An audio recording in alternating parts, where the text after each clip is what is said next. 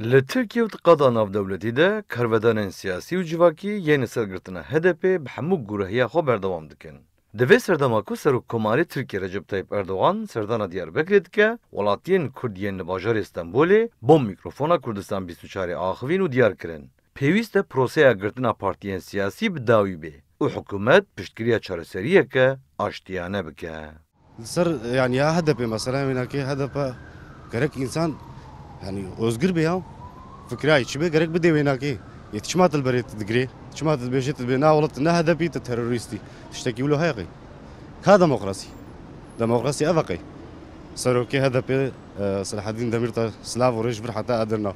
تش ما هاتي غرتن جبرغو أو عاصيلبو جبرغو يحق حقوق. دردي مولات دردي مظلومة.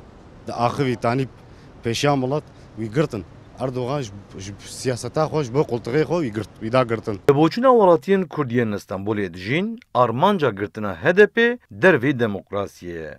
Li Erdoğan ji bo ku HDP bigire Selahattin Demirtaş girtiye li gel ku tu sucekî wî nîne. Girtina vê partiya haneke em çareserî em çare nabînin.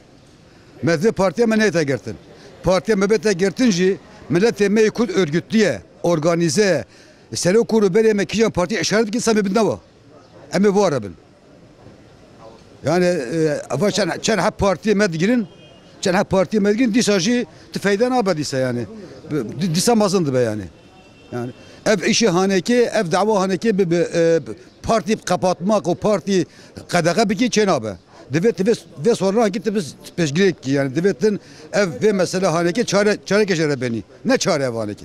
داگرتنا به هدف باش نبینش خورا و بی خپات کنیشی کیجان به وکیل مثلا و اکو خوب دستک خوب ملت خو اج بوی ام ناویم بی خپات کردن اما بینی سر سلاطین دمرتاش پنج سال چوش پیکت سال ششم olsa سال شش دوی اکیدا تو ceza ki yutana sad nail nail denge meder keve bu konuya bir zavacızım Welatiyên Kurd helwesta li dijî HDP adilane nabînin û didin zanîn berê jî partiya hatin hasê kirin. Lê dîsa jî nebûye çare. Zimanê Kurdî hatiye qedexe kirin, ev jî nebûye çare. Divê hikûmet ne agresîv be û ne jî li pey siyaseteke nijadperestî be. Divê bi şêwazeke hestiyar guh bide çareseriyeke aştiyane û guhê xwe li daxwazên Kurdan kerneke.